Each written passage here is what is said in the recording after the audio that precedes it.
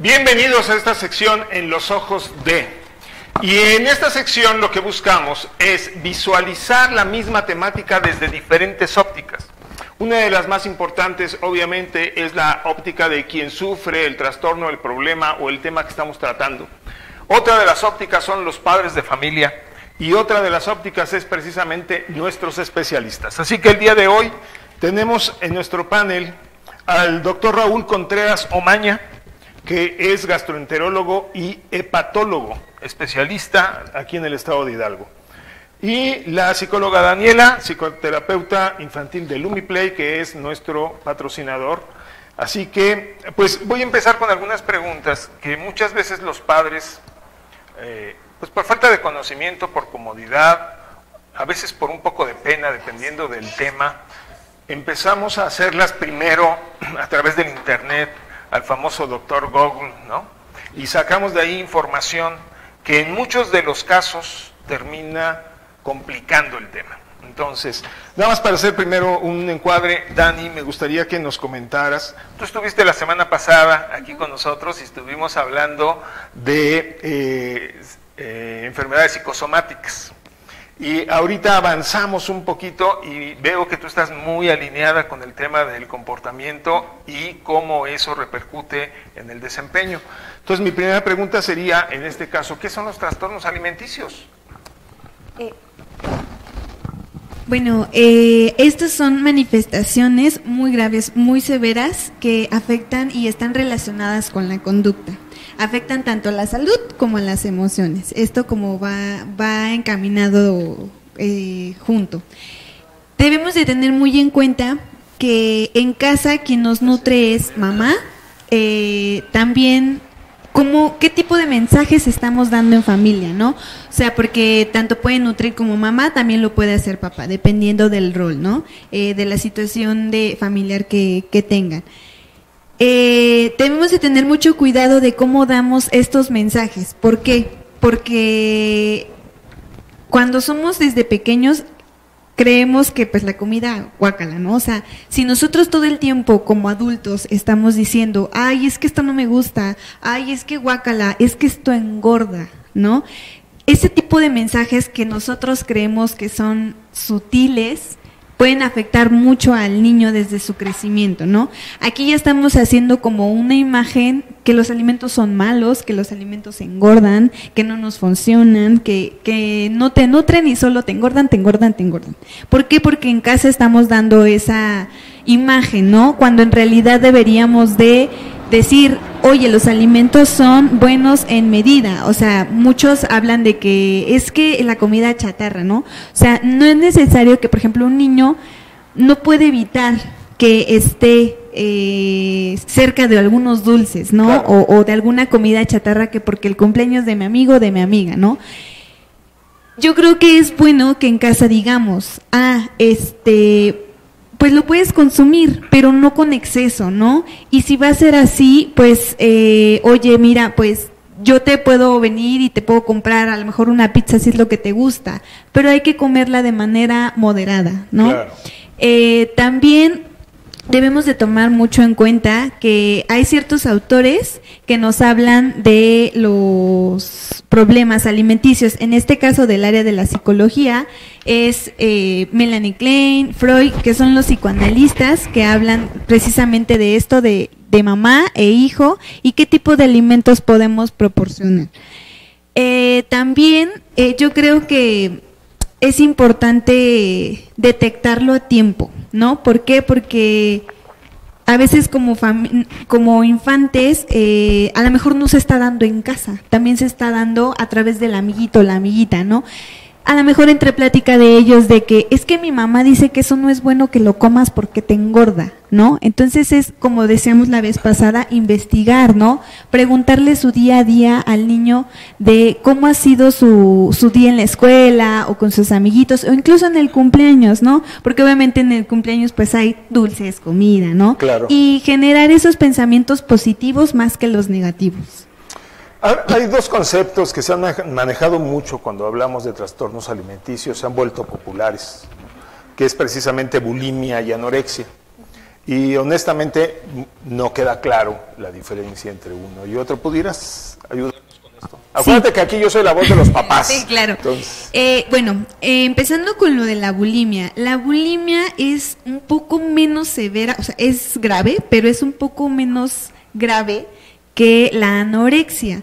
En la bulimia lo que tenemos es que son los atracones, ¿no? A muy corto tiempo. Entonces, lo que, hace, lo que hacen las personas que padecen esta enfermedad, eh, consumen a corto tiempo sus alimentos mantienen ellos eh, su peso, pero recurren mucho al vómito y al uso de laxantes. Eh, si hacen ejercicio, de hecho lo hacen mucho más que en la anorexia. En la anorexia hay veces que no, no hay mucho como esta parte del ejercicio. ¿Por qué? Porque cuando no se adquiere un alimento, hay debilidad en músculos, debilidad este, en huesos. Eh, también hay, de hecho, incluso, por ejemplo, hablando de, en, lo emocional, eh, existen problemas de concentración, hay eh, baja autoestima, tienen una imagen distorsionada de me veo gordo, me veo gorda, porque queda claro que esto no nada más pasa en mujeres. La tasa de incidencia es mucho más alta en mujeres, pero también sucede en los hombres. Eh, también, bueno, en la anorexia eh, lo que da es que evitan constantemente el alimento, ¿no? Ellos prefieren no, no adquirir el alimento, eh, obviamente pues tienen un bajo peso, también hay problemas como de preocupación constante por, por el, bajo peso, también... Mm, problemas para dormir. Hay muchos problemas para dormir. ¿Por qué? Porque todo el tiempo, incluso no sé si a nosotros mismos nos ha pasado de, ay, me quedé con un huequito, ¿no? Necesito comer. Entonces, obviamente ese tipo, pues el estómago manda señales al cerebro. Y cuando esto pasa, pues, y nosotros está restringiendo, restringiendo, pues es obvio que en las emociones afecta, ¿no? El, el estar malhumorado, el estar todo el tiempo irritantes, el sí pensar que estoy irritante, pero también estoy preocupada porque sé que eso engorda. Entonces, todo ese tipo de, pensamientos, dependiendo de la, de la persona y de, del sistema familiar en el que estemos, pues afecta mucho, ¿no? Entonces, esa es como la diferencia, en donde unos sí comen, pero eh, recurren mucho a los laxantes, al vómito y mantienen su peso y en, el, en la anorexia pues es el extremo, ¿no? Evitan constantemente la comida y bueno, hacen que haya ejercicio, pero no tanto como en la bulimia, precisamente porque el alimento no les da como la fuerza para hacerlo. Claro, bien. Doctor Raúl Contreras, eh, entiendo que usted tiene una certificación internacional incluso, ya lleva muchos años trabajando este tema.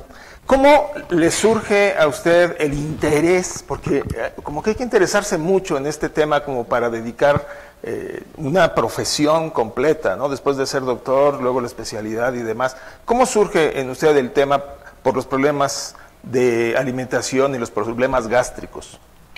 Bueno, antes, antes que nada la, invitación, pues muchísimas gracias ¿no? por, la oportunidad de, platicar con ustedes. Lo que pasa es que nosotros cuando hacemos nuestro entrenamiento como gastroenterólogos, eh, nos damos cuenta de que una de las áreas que ya en la consulta privada se vuelve muy recurrente, muy, muy de visita y que casi no se toca en los hospitales cuando estamos en entrenamiento son los problemas eh, asociados a alimentación.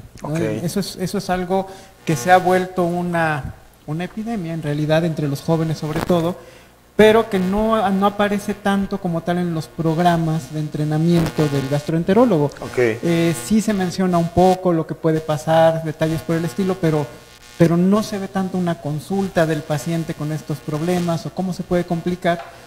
Y cuando ya estamos ejerciendo empiezan a llegar esos pacientes. Y vemos las complicaciones serias que, ellos presentan y eh, pues no nos queda más que buscar una manera de, entrenarnos también en esa área desde el, desde el, lado médico para poder ayudar a esos pacientes, porque no, no, no, es tan fácil una parte del entrenamiento de la especialidad del gastroenterólogo, se toca muy, muy superficial y en la vida real es algo cotidiano. ¿Podríamos considerar que ha aumentado el número de pacientes. Ok. Se considera que sí, a nivel mundial, sí, tremendamente, y sobre todo se ha visto eh, que la generación que ahora le llaman generación millennial, que son aquellos que nacen después de mediados de los ochentas, eh, son una generación muy predispuesta a este tipo de, patología. ¿Por qué? Porque están bombardeados en, el medio ambiente social con lo fitness y con las modas de, estar bien y verse bien y de comer saludable y de estar delgado y marcado y, las redes sociales están llenas ¿no? de, de los famosos influencers, que, son los que, como su nombre lo dice, son los que mueven la mente de los jóvenes y los que los están bombardeando todo el tiempo con tienes que estar marcado, tienes que estar delgado, tienes que ser saludable y, y no les explican que hay otras variables que tienen que ver y entonces toda esa generación despuntó en estos problemas de anorexia y bulimia casi 400%. ¡Wow! Doctor, usted en sus redes sociales vi por ahí un comentario que me llamó mucho la atención y quiero destacarlo, donde invitaba a todos los profesionales a ser ñoños. Y normalmente este, este concepto pues, está muy ligado al tema del bullying, ¿no? Este, en la escuela el ser ñoño es mal visto y usted, sin embargo, incitaba a todos a que fueran ñoños y me gustó este concepto. ¿Lo puede comentar? Sí, la verdad es que eh, todos los que nos dedicamos a la investigación, yo también soy investigador, eh, tuvimos una infancia que fue de ese modo, ¿no? O sea, quienes nos gustaba el conocimiento, pues nos gusta desde niños.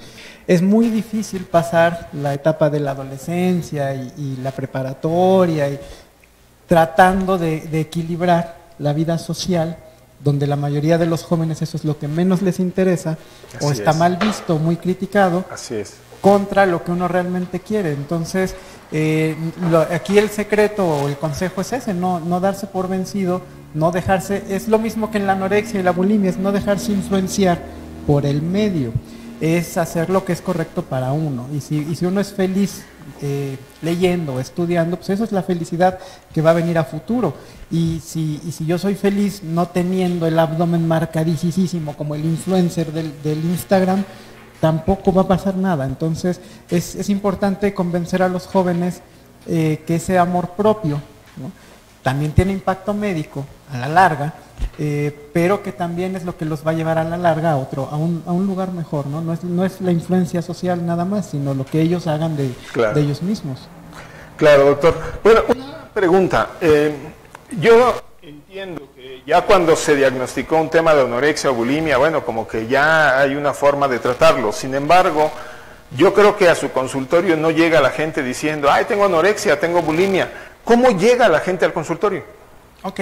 De hecho, curiosamente, con el gastroenterólogo, con nosotros, sí llegan ya con el diagnóstico hecho. Es lo más común. Es muy raro que el paciente llegue buscando ayuda por sí mismo. Y esto eh, la, licenciada no me dejará mentir. Generalmente es la familia quien lo lleva y, generalmente ya pasaron con un psicólogo, con una psicóloga, y ella es la que le dijo tiene que hacerse una revisión médica, eh, por lo que estaba comentando la licenciada. Esto va más allá del asunto mental, tiene repercusiones en el cuerpo. Entonces, casi todos los pacientes que llegan ya a la consulta son referidos por un psicólogo ya eh, considerando que pueden tener un problema de salud eh, ya subyacente que tenemos que buscar. Generalmente son pacientes que llegan, que son pacientes jóvenes que llegan de muy mala gana a la consulta, muy poco participativos, eh, no, no aceptan tan fácil las, las recomendaciones hasta que les enseñamos de manera palpable que sí están teniendo una repercusión. Entonces es un, son pacientes muy complejos en general. Encontré que algunos de estos pacientes tienen dos condiciones específicas. Una son eh, las, eh, las varices internas y las hemorragias internas. ¿Nos puede comentar un poquito por qué esto es importante? De hecho, eh, como, tal como comentaba la licenciada, hay que separar lo que es bulimia y anorexia, porque médicamente hablando también tienen consecuencias diferentes. El paciente bulímico es el que come de más, es el que, el, que se aguanta el hambre mucho tiempo y luego eh, ya no aguanta el antojo y se atraca de comida y luego siente culpa y vomita o se laxa. Entonces, al momento, el paciente bulímico que vomita, no vomita una vez, vomita tres, cuatro, cinco veces por día, sobre todo en las mujeres jóvenes, y cada vez que vomitamos está pasando ácido del estómago hacia la boca. Entonces, las primeras veces no hay tanto problema, pero lo hacen tanto que empiezan a quemarse y a quemarse y a quemarse y a quemarse de manera interna y ahí es donde vienen las consecuencias graves.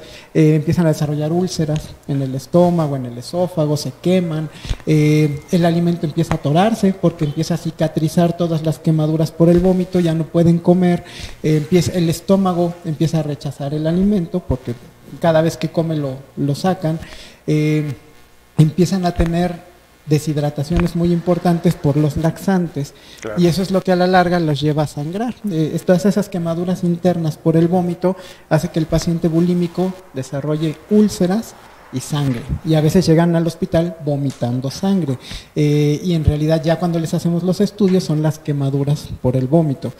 El paciente anoréxico es diferente. El paciente anoréxico no come. Eh, ese paciente se aguanta de comer y no come nada y se va desnutriendo la desnutrición es un factor de riesgo para daño en el hígado. Eh, y eso se ha visto que la anorexia provoca cirrosis por desnutrición. Eh, y es la cirrosis la que provoca que crezcan estas venas, estas varices, que también a la larga sangran. Entonces, eh, y va más allá, el paciente anoréxico sufre fracturas y, tiene trastornos mentales por la, por la falta de vitaminas en el cerebral. Entonces, sí son digestivamente hablando casos muy peligrosos, muy complejos, eh, que además se asocian mucho a estadísticas muy altas de riesgo de suicidio concomitante, porque como todo viene de un, de un trastorno de la autopercepción, claro. tampoco se quieren. Entonces son pacientes que además de todo el, problema digestivo y el problema psicológico, también tienen intentos de suicidio. Son, son pacientes complejos, son pacientes médicamente hablando, cuando llegan al hospital son difíciles de manejar. Ya.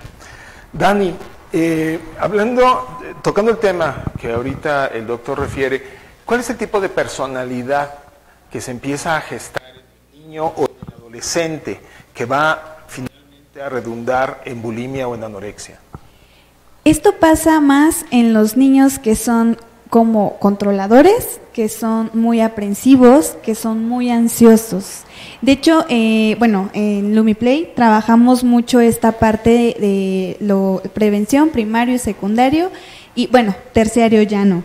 Eh, lo que es en la prevención, bueno, pues podemos empezar, ¿no? Como como lo comentaba el doctor, eh, llegan mucho por la familia, ¿no? Porque incluso los mismos niños ni siquiera saben lo que tienen. O sea, es como de, ah, pues solo no me da hambre y ya, ¿no? O sea, es como distracción para ellos. Eh, cuando tenemos lo primario es cuando empiezan estos cambios de conducta, de emoción, cuando ya son secundarios, eh, ya es cuando el niño comienza como a hacerlo, ¿no? O sea, ya de plano dejar de comer o darse estos atracones que en la bulimia, bueno, siempre buscan como alimentos altos en calorías, ¿no? Y en los terciarios, pues ya se busca más como el internamiento de del, del, paciente, ¿no? Estos nosotros, bueno, ya, ya no los manejamos, pero... Eh, en las primeras fases nosotros eh, damos como esas herramientas eh, más que nada emocionales, ¿no? ¿Por qué? Porque nosotros lo vemos más desde el lado emocional, sí acompañado de estudios médicos, pero eh, eh, aplicamos muchas cosas eh, emocionales para ese cambio también de manera cognitiva, ¿no?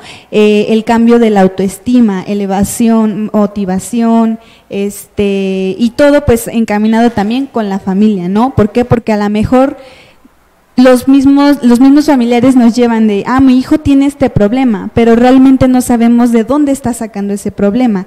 Puede ser tanto escolar o puede ser también familiar. Entonces hay que investigar esa parte y ese es el como el tipo de personalidad que tienen ese ese tipo de niños que padecen esta enfermedad. Más controladores. Sí. Vamos a pensar que ya pasaron por, por LumiPlay, eh, de alguna manera algún psicólogo en, en, algún momento determina que existe este tema y va a trabajar la parte emocional, la parte familiar, la parte social, la parte cognitiva y la parte conductual. Pero tenemos la parte médica.